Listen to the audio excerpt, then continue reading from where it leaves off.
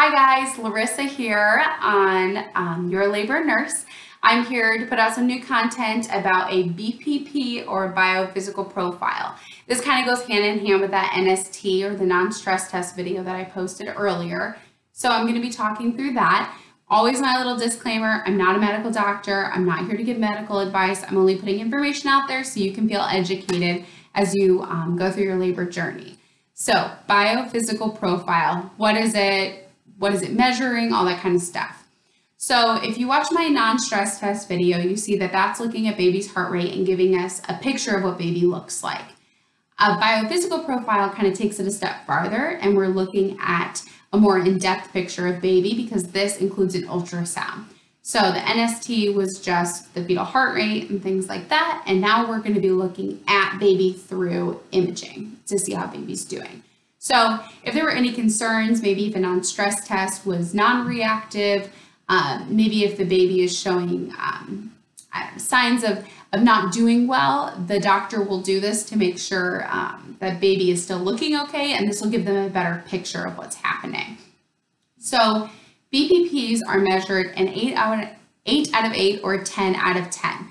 It depends on how the um, hospital talks about it or how the floor talks about it, but I'm going to distinguish the both so that you kind of understand why sometimes it's eight out of eight points and why sometimes it's out of 10 points.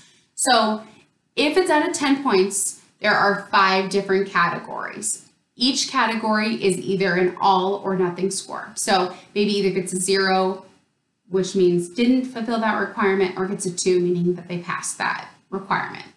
So the first thing they look at is fetal breathing movements. They want to see baby breathing. That's your first score. The second score for baby is gross body movements.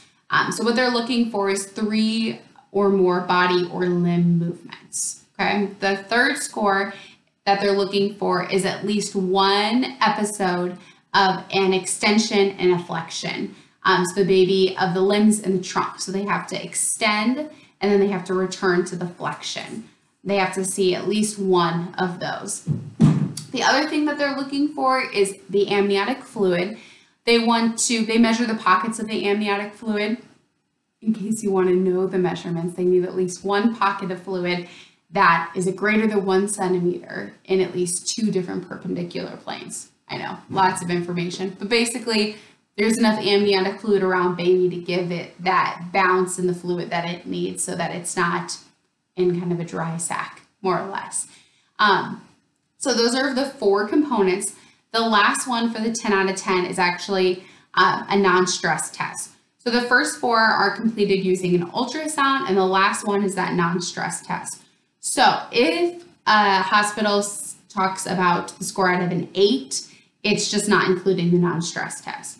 If it talks about a score out of a 10, it's including a reactive non-stress test for, or a non-reactive. So they're going to look at all five of those categories and then baby is going to get a score, either eight out, either out of eight points or out of 10 points. If it's out of 10 points, ideally we want baby to be eight, an eight to a 10. So, I mean, baby's not going to be perfect, so we have some wiggle room, but we're looking for a baby that is an eight, nine, or 10 ideally. Again, um, this isn't something you need to be concerned about, but I just want you to know what a BPP is. So if you hear a two out of 10, baby doesn't have a whole lot of reserve. And the doctor is going to be considering um, maybe changing the plan of care and doing some things in order to help baby. So keep those things in mind. Again, something to discuss with your doctor. So this is just so that you know what a BPP is, what to expect, what they're going to come and read, what they're measuring and looking for. A doctor will then follow up with you to decide, hey, this is what the score was, and this is what we need to do here on out in order to either just continue to monitor or continue, consider changing um, what the current plan was for your labor. So always feel free to post questions before. That's all I got for you on a BPP. Um, and yeah,